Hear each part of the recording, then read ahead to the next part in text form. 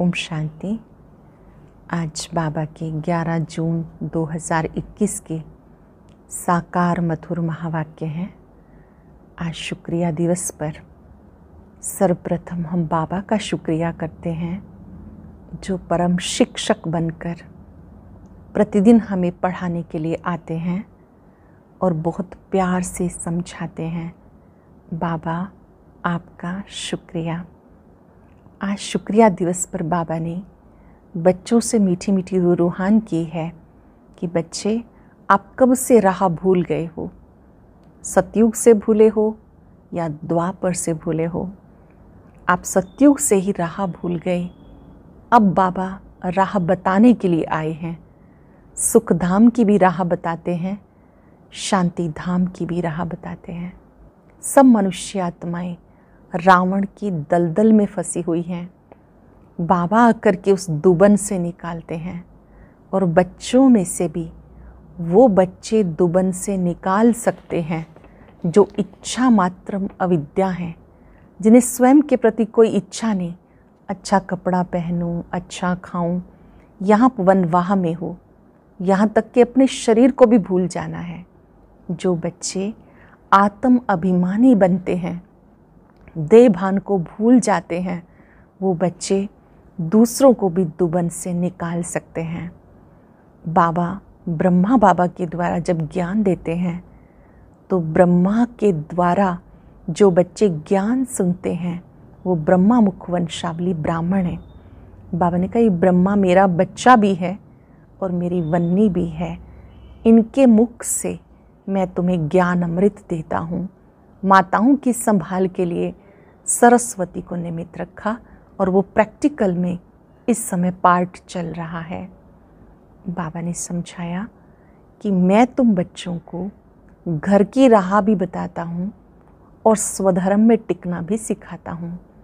जब आप बच्चे अपने स्वधर्म में टिकते हो कि मैं आत्मा शांत स्वरूप हूँ, शांति देश से यहाँ आई हूँ पार्ट बजाने, फिर आप चिंतन करते हो तो पार्ट बचाने में बड़ा मज़ा आता है। आपको यहाँ पर अपना पार्ट शांत स्थिति में रह के बचाना है। अपने आप से पूछना है, मैं कितना बाबा को याद करता हूँ?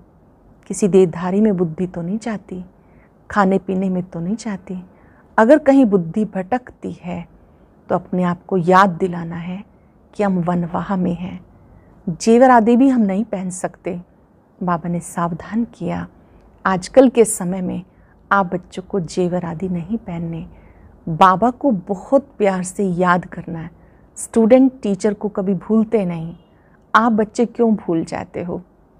अगर याद रहे, स्वयं भगवान मुझे पढ़ाते हैं तो अथाह खुशी रहे। बहुत सुंदर बात बाबा ने कही। ये मेरा है, ये मेरा है, ये मेरा मेरापन छोड़कर आत्म अभिमानी बनने की मेहनत करो। जितना आत्म अभिमानी बनेंगे, उतना दुबन से निकलते जाएँगे औरों को भी निकालने में मदद करेंगे। संपूर्ण वफादार की बहुत सुंदर बात बाबा ने समझाई कि जो बच्चे जब से बाबा के बने, समय, संकल्प, शब्द और कर्म उन्हें सही प्रयोग करते हैं, जरा भी व्यर्थ नहीं जाने देते। जब से बाबा के बने ऐसे नहीं कि एक सेकंड व्यर्थ गया, एक पैसा ही व्यर्थ गया।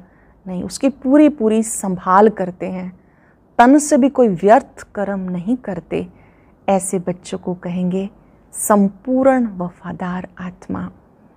श्रीमत का यथार्थ प्रयोग करना है। तुम सच्चे सच्चे राजयोगी, राज ऋषि हो, ऋषि पवित्र को कहा जाता है। आज हम चलते फिरते अभ्यास करेंगे, मैं संपूर्ण वफादार आत्मा हूँ। अब सुनते हैं मुरली विस्तार से। बाबा कहते, मीठे बच्चे, तुम अब सच्चे सच्चे राजयोगी हो। तुम्हें राज ऋषि भी कहा जाता है। राज ऋषि माना ही पवित्र। तुम अभी सच्चे सच्चे राजयोगी हो। तुम्हें राज ऋषि भी कहा जाता है। राज ऋषि माना ही पवित्र। कुछ ने तुम बच्चे मनुष्यों को माया रूपी रावण की दलदल से कब निकाल सकेंगे? माया रूपी रावण की दलदल से कब निकाल सकेंगे? जब तुम खुद उस दलदल से निकले हुए होंगे। दलदल से निकलने वालों की निशानी है इच्छा मात्रम अविद्या। एक बाबा के सिवाय कुछ भी याद ना आए। अच्छा कपड़ा पहने, अच्छी चीज़ खाएँ, ये लालच ना हो। तुम्हें पूरा ही वनवाह में रहना है। इस शरीर को भी भूले हुए मेरा कुछ भी नहीं। मैं आत्मा हूँ, ऐसे आत्म अभिमानी बच्चे ही रावण की दलदल से मनुष्यों को निकाल सकते हैं। ऐसे आत्म अभिमानी बच्चे ही रावण की दलदल से मनुष्यों को निकाल सकते हैं। गीत है, तू प्यार का सागर है, तेरी एक बूंद के प्यासे हम। ओम शांति। कोई समय गीत जब बजाया जाता है तो बच्चों से गीत का अर्थ भी पूछते थे। बताओ, तुम कब से राह भूले हो? कब से राह भूले हो? किसी ने कहा द्वापर से, किसी ने कहा सतयुग से। जो कहते द्वापर से भूले हैं, वो रोंग है। सतयुग से राह भूले हैं राह बताने वाला तो अब तुम्हें मिला। सत्युग में राह बताने वाले को ही नहीं जानते। वहाँ कोई बाप को भी जानते ही नहीं तो गोया भूले हुए हैं। भूलना भी ड्रामा में नूंद है। फिर अब राह बताने आए हैं। कहते, प्रभु, राह बताओ। हम सतयुग से लेके बाबा को भूले हैं। बाबा प्रश्न पूछते हैं बुद्धि चलाने के लिए। ये ज्ञान ही निराला है ना? ज्ञान का सागर बाप है। बाप सम्मुख समझाते ज्ञान का सागर, सुख का सागर मैं ही हूँ। सम्मुख आकर बाबा कहते हैं, मैं ज्ञान सागर हूँ, सुख का सागर हूँ। तुम भी जानते हो, बरोबर पतित पावन भी एक ही है। पतित पावन जो पतितों को पावन बनाने वाला है, वो एक है। ये तो भक्ति मार्ग वाले भी मानते हैं।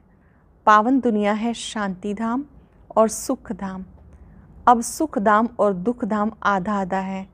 ये तो बच्चे अच्छी रीति जानते, बाप प्यार का सागर है, तभी सब उनको फादर कह के पुकारते हैं। परंतु वो कौन है? कैसे आते हैं? ये भूल जाते हैं।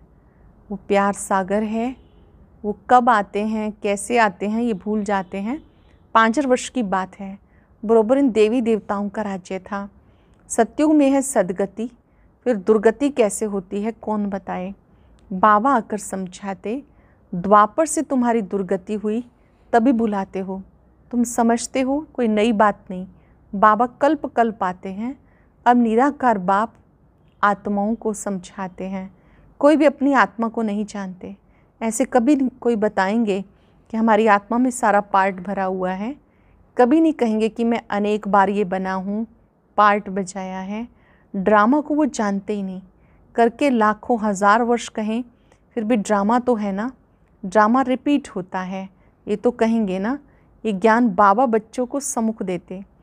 मुख से बात कर रहे हैं। जानते हो मैं शिव बाबा ने ब्रह्मा द्वारा अपना बनाए ब्राह्मण बनाया है। शिव बाबा ने ब्रह्मा द्वारा अपना बनाकर ब्राह्मण बनाया है। शिव बाबा का ये बच्चा भी है तो वन्नी भी है। बच्चा भी है और स्त्री भी है। देखो कितने बच्चों की संभाल की जाती है। अकेला मेल होने के कारण सरस्वती को मददगार बनाया कि बच्चों को संभालो। ये बातें शास्त्रों में नहीं है, ये है प्रैक्टिकल। निराकार शिव बाबा ब्रह्मा तन में आए तो ब्रह्मा शिव बाबा का बच्चा भी है, लेकिन ज्ञान की पालना हम सबकी ब्रह्मा मुख से होती है तो ब्रह्मा हमारी माता भी है। फिर भी माताओं बहनों की संभाल के लिए सरस्वती को मददगार बनाया। ये बातें शास्त्रों में नहीं हैं बाबा ही राजयोग सिखाते हैं। जिनको राजयोग सिखाया, वो राजाएँ बने चौरासी जन्मों में आए। बाइबल, कुरान, वेद, शास्त्र आदि पढ़ते तो बहुत हैं, परंतु समझते कुछ नहीं। अब तुम कोई तत्व योगी नहीं हो। तुम्हारा बाबा से योग है, अर्थात बाप की याद है। तुम अभी राजयोगी, राजऋषि हो, अर्थात योगी राज हो। योगी पवित्र को कहा जाता, स्वर्ग की राजाई लेने के लिए तुम योगी बने हो। बाबा पहले पहले कहते, पवित्र बनो। योगी नाम ही उनका है। तुम सब राज योगी हो। ये तुम ब्रह्मा मुख वंशावली ब्राह्मणों की बात है। तुम्हें राजयोग सिखा रहे हैं। स्टूडेंट हो गए ना? स्टूडेंट को कभी टीचर भूलेगा क्या? जानते हो श्री बाबा हमें पढ़ा रहे हैं, परंतु माया भुला देती है। बाबा हमें पढ़ा रहे हैं, ये बात भी भुला देती है माया। तुम अपने पढ़ाने वाले टीचर को भूल जाते हो। भगवान पढ़ाते हैं, ये समझे तो नशा चढ़े। स्कूल में आईसीएस पढ़ते तो कितना नशा रहता है। तुम बच्चे तो इक्कीस जन्म के लिए राजयोग की पढ़ाई पढ़ते हो। पढ़ना तो फिर भी होता। राजविद्या भी पढ़नी पड़े भाषा भी सीखनी पड़े तुम बच्चे समझते हो, सत्युग से हम ये राह भूलनी शुरू करते हैं। फिर एक एक ढाका, एक एक पौड़ी, स्टेप नीचे उतरते आते अभी तुम्हें सारा याद है, कैसे हम चढ़ते हैं, कैसे उतरते हैं, ये सीढ़ी अच्छी रीति याद करो। चौरासी जन्म पूरे हुए, अब वापस जाना है। खुशी होती है, ये बेहद का नाटक है। आत्मा कितनी छोटी है।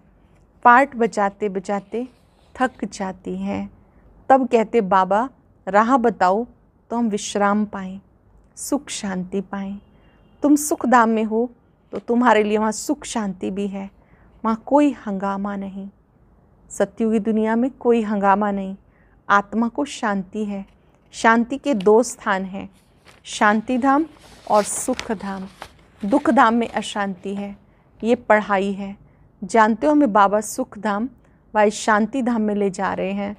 तुम्हें कहने की दरकार नहीं। जानते हो हम यहाँ पार्ट बचाने आए हैं। फिर हमें वापस जाना है। ये खुशी है। शांति की खुशी नहीं, पार्ट बजाने में हमें मज़ा आता है। खुशी होती है। जानते हैं बाबा को याद करने से विक्रम विनाश होंगे। कोई कहते हैं हमें मन की शांति मिले। ये अक्षर भी रोंग है। नहीं, हम बाप को याद करते हैं कि विक्रम विनाश हों। शांत तो मन रह ना सके। कर्म बिगड़ रह नहीं सकते। बाकी महसूसता आती है। हम बाबा से पवित्रता, सुख, शांति का वर्षा ले रहे हैं। तो खुशी होनी चाहिए। यह दुख धाम। इसमें सुख हो नहीं सकता। मनुष्य शांति धाम सुख धाम को भूल गए हैं। शांति धाम को भी भूल गए सुख धाम को भी भूल गए। तो जिनको बहुत पैसे हैं समझते हम सुख में हैं। सन्यासी घर बार छोड़ जंगल में जाते।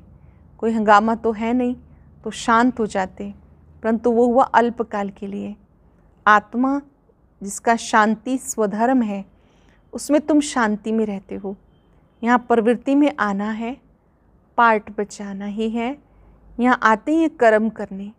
कर्म में तो आना ही है। तुम बच्चे समझते हो, ये समझाने बेहद का बाप दे रहे हैं। निराकार भगवान वाच, जानते हो हम आत्मा हैं, हमारा बाप परम आत्मा है। परमात्मा माना परमात्मा, उनको ही बुलाते हैं। बाबा ही सबका सदगति दाता है। बाबा कहते, बच्चे, देही अभिमानी बनो। सोल कॉन्शियस बनो। अपने को आत्मा समझो, इसमें मेहनत है। आधा कल्प से जो खाद पड़ती हैं, वो इस याद से ही निकलेगी। तुम्हें सच्चा सोना बनना है। जैसे सच्चे सोने में खाद मिलाए, फिर जेवर बनाते। तुम असल में सच्चा सोना थे, फिर तुम्हारे में खाद पड़ती। आप सच्चा सोना थे, फिर धीरे धीरे खाद पड़ी। अब तुम्हारी बुद्धि में हमने पार्ट बचाया अब हम जाते पियर घर। जैसे विलायत से जब पियर घर लौटते हैं तो खुशी होती है। तुम्हें भी खुशी है। जानते हो बाबा हमारे लिए स्वर्ग लाया है। बेहद के बाप की सौगात है। बेहद की बादशाही। अर्थात सदगति। सन्यासी लोग मुक्ति की सौगात पसंद करते। कोई मरता तो कहते स्वर्गवासी हुआ। सन्यासी कहेंगे ज्योति ज्योत समाया। जिसमें सब मिल जाएँगे।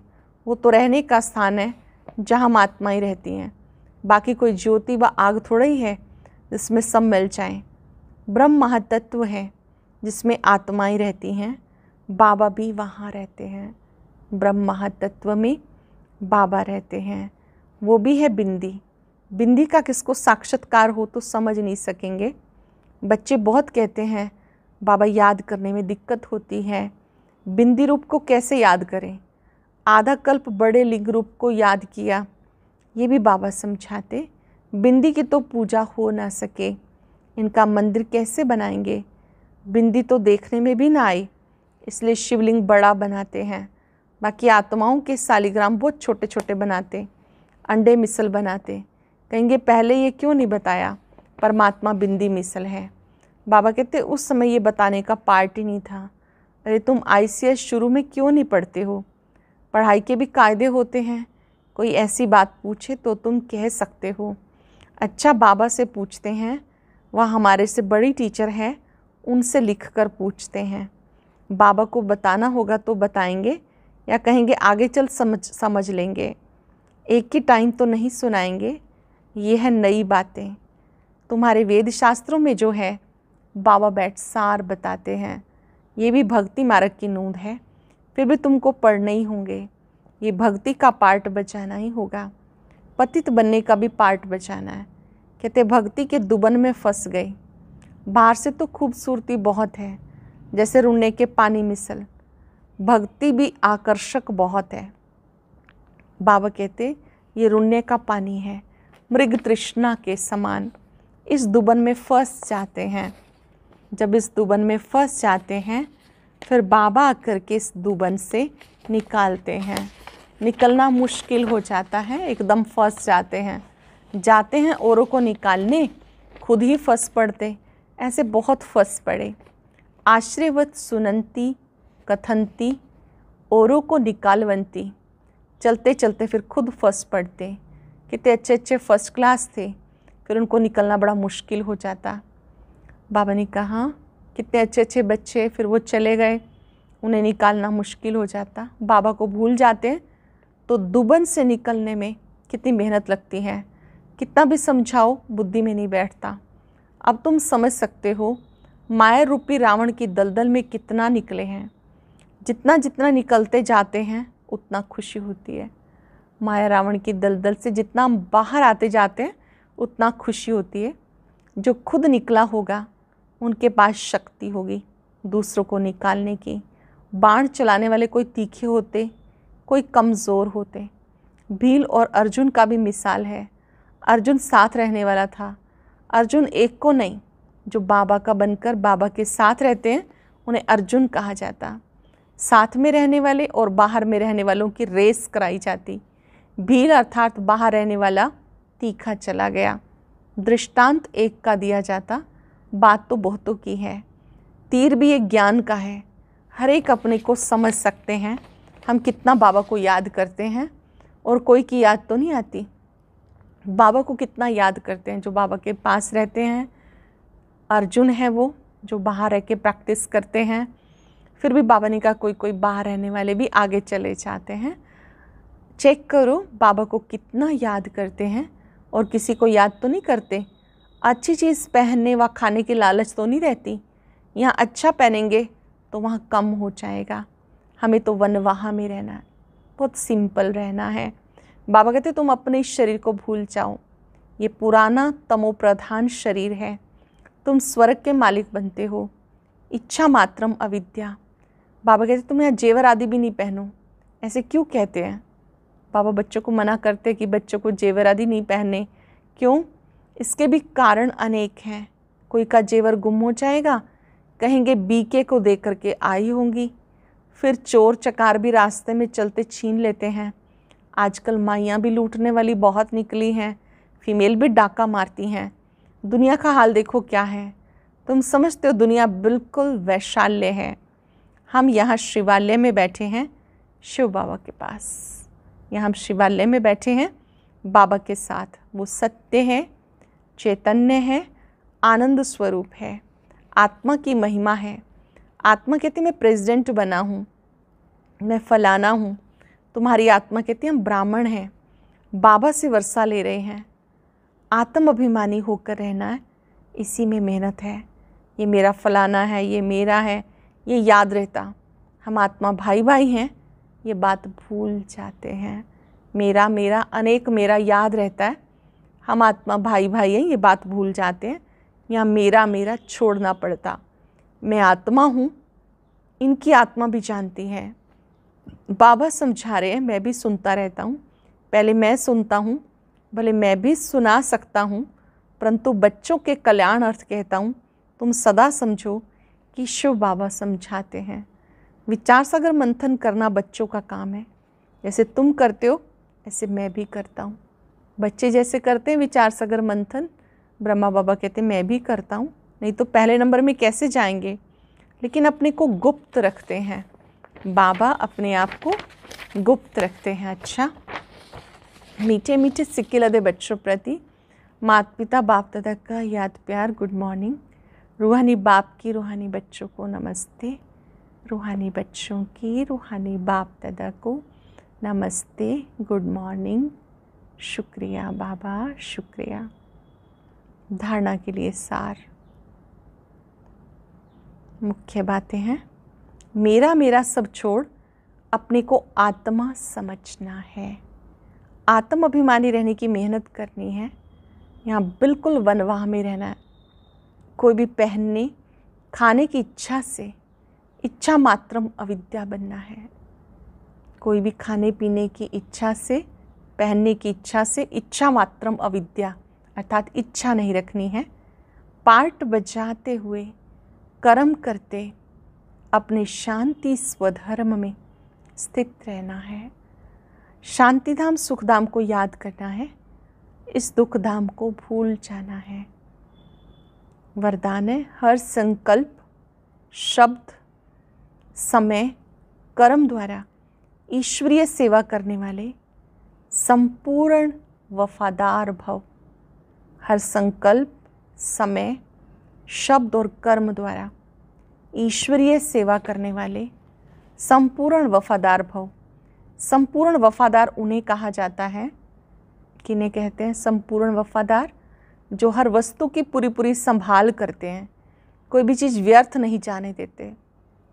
जब से जन्म हुआ, तब से संकल्प, समय, कर्म सब ईश्वरीय सेवार्थ हों। यदि ईश्वरीय सेवा की बजाय कहीं भी संकल्प व समय जाता है, व्यर्थ बोल निकलते हैं या तन द्वारा व्यर्थ कार्य होता है तो उन्हें संपूर्ण वफादार नहीं कहेंगे। ऐसे नहीं कि एक सेकंड व एक पैसा व्यर्थ गया तो क्या बड़ी बात है? नहीं। संपूर्ण वफादार, अर्थात सब कुछ सफल करने वाले। संपूर्ण वफादार अर्थात सब कुछ सफल करने वाले, समय भी, संकल्प भी, श्वास भी, हर कर्म को सफल करने वाले। स्लोगन है, श्रीमत को यथार्थ समझकर उस पर कदम कदम चलने में सफलता समाई हुई है। श्रीमत को यथार्थ समझ के कदम कदम उस पर चलने में सफलता समाई हुई है। आज अभ्यास करेंगे। मैं संपूर्ण वफादार आत्मा हूँ। ओम शांति। आज की अव्यक्त मुरली ज़रूर सुने। उसके लिए ऊपर दिए गए बॉक्स को टच करें।